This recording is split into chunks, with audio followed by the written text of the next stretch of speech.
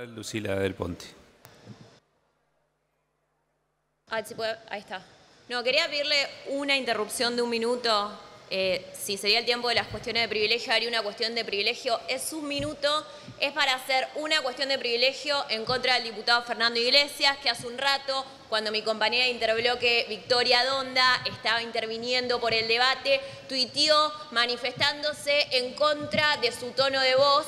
Y quiero decirle al diputado que no sea machista, que no sea misógino, que se ubique en este momento de que en la Argentina las mujeres estamos conquistando que se ocupe de escuchar lo que decimos y que dejen de usar la maniobra de avergonzarnos por nuestra voz, por nuestro cuerpo y que escuchen lo que decimos en igualdad de condiciones. No sea misógino, diputado, y ubíquese en el tiempo histórico en el que vivimos.